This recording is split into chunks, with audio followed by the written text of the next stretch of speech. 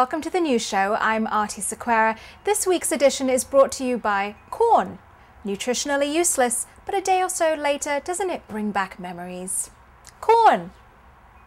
Our top story OPEC is blaming the US and other industrialized nations for the global economic mess and challenging them to clean it up.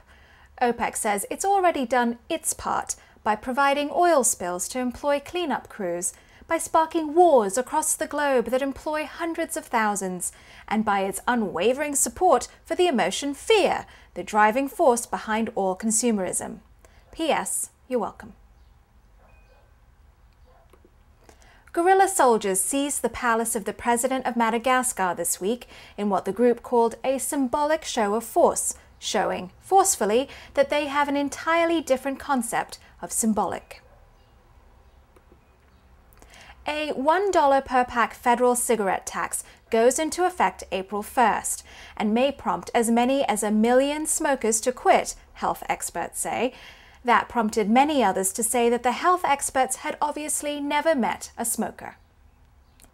The tax will be used to pay for expanding health coverage for low income children, but only if those broke ass kids smoke.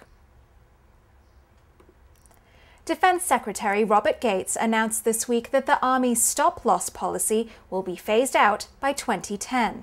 Sadly, the policy will not be abandoned by the space program, much to the chagrin of the Phoenix Mars lander robot, currently on year five of what was to be a three month mission.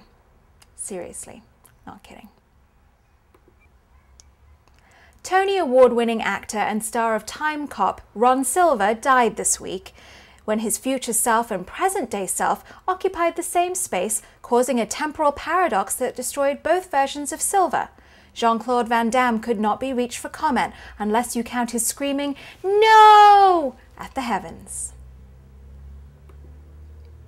Tough guy and martial arts expert Chuck Norris has sued publisher Penguin over a book he claims unfairly exploits his famous name. The book is based on the satirical internet list of mythical facts about Norris. This only proves that Chuck Norris doesn't have a sense of humor or even laugh because his chuckle would cause another big bang. An experimental new allergy therapy developed at Duke University using small doses of peanut protein may altogether knock out peanut allergies, but only if Steve Mazzagatti is refereeing. The Space Shuttle Discovery had an extra passenger when it launched on Sunday, a small bat clinging to the external fuel tank. And since this isn't a DreamWorks animated feature, he did not end up saving up the crew from a hostile invasion by bat-like aliens. He just froze to death in the upper reaches of the atmosphere. Aww. Bob Dylan's Malibu neighbours have complained to city officials about the scent wafting from an outdoor portable toilet on his property. Officials have yet to respond, but your answer, my friend, is blowing in the wind. The answer is blowing in the wind. in the wind.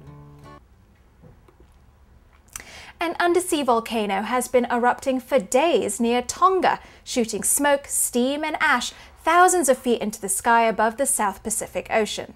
Scientists at the site said it posed no danger to nearby islanders. Really? Looks so harmless.